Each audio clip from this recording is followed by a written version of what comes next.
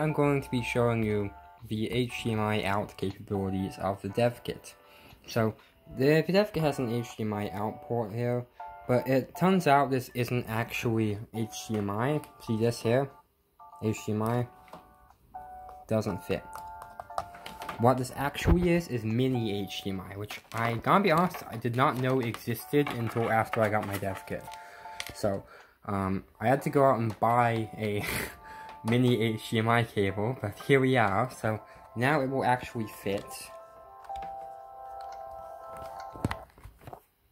And there you go, as soon as I plug it in, the um, sound stops. So I'm going to turn on this TV.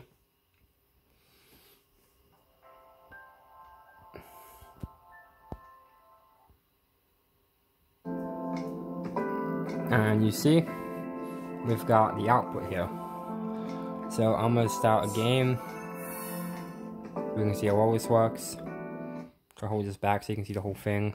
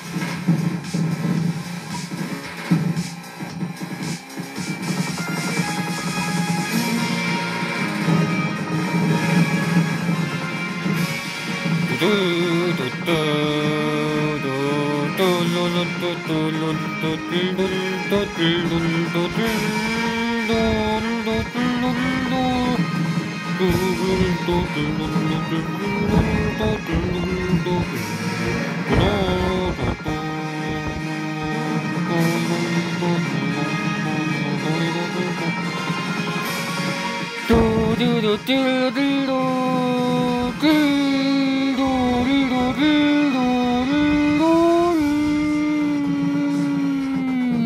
Okay, I died.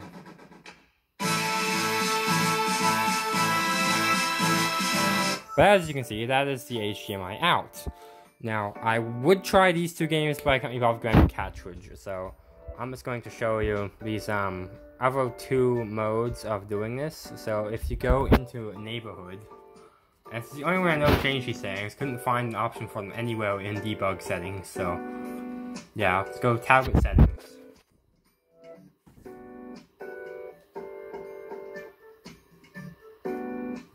Now I'm gonna scroll down to I can find it. Here. Development environment settings. You've got um, a few options. So resolution 720p scaling full. So um, you can change this to the few options here. So we've got 480p scaling full, 720p scaling real, and 720p scaling 960 times 544. So first I'm going to do um, 480p scaling full, and then click apply. And then in order for these things to actually apply, you have to remove the cable and then plug it back in. And immediately, there you go, that's 480p scaling full, and as you can see, power of the console is cut off. You see over there dev mode, power that's cut off, so wouldn't recommend using this mode, but it is there. Um, so next I'm going to try is 720p scaling real. And now and now I'm going to unplug the HDMI and then plug it back in. And you see this one here, it puts in a box, so it's like the actual screen size. Um, so that's pretty cool. Uh, but as well as that, there's also scaling 720p, scaling 960 times 544, which is the PSVR screen resolution. I'll click apply there. And then immediately I'm going to unplug this again. Plug it back in. And that's what that looks like. So it looks basically the same to me. I can't really tell much difference. Um, and then there's one more thing I want to try, and that's um, putting this back onto skating wheel. I mean skating full. And then I want to try entering PSTV emulation mode.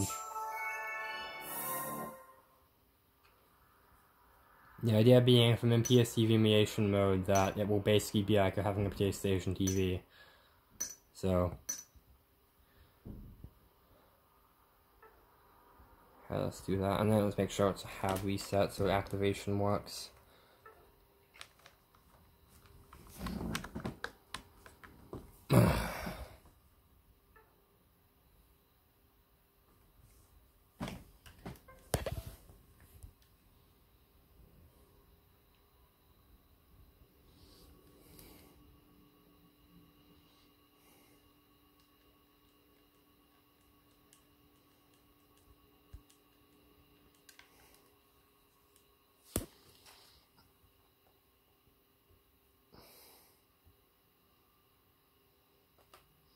So now off this boots, I'm going to pair my controller.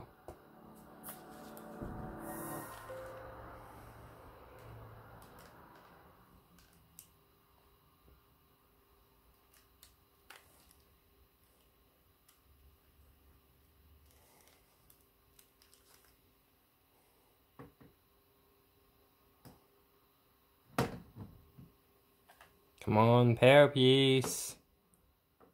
Pair piece isn't being a very good demonstration.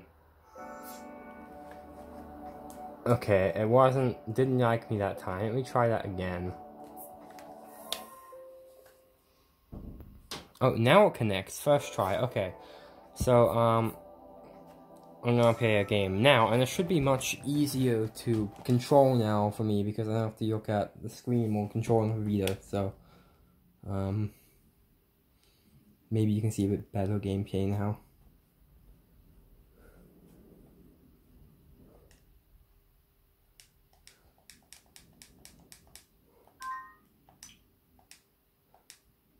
I'm controlling this with my controller this time.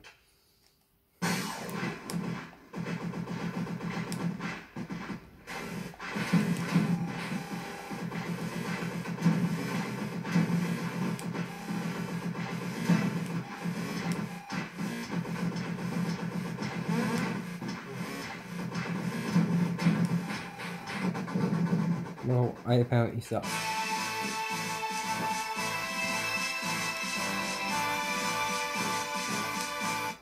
Uh, try again.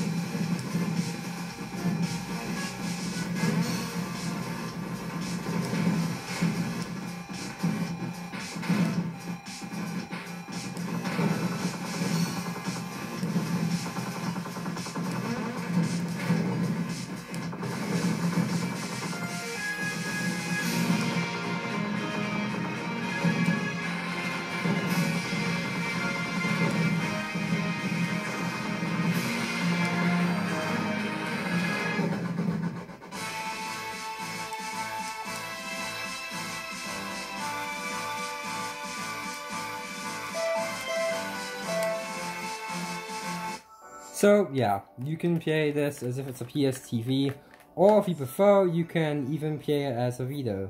And yeah, if I had a capture card, I would show you direct capture, but I don't. I also don't know if this is HDCP um, protected. Again, don't have a capture card, can't really check that. Um, but yeah, it basically works how you'd expect. It works just like on a PS TV. So that's about it. Thanks for watching do do do do do do do do do do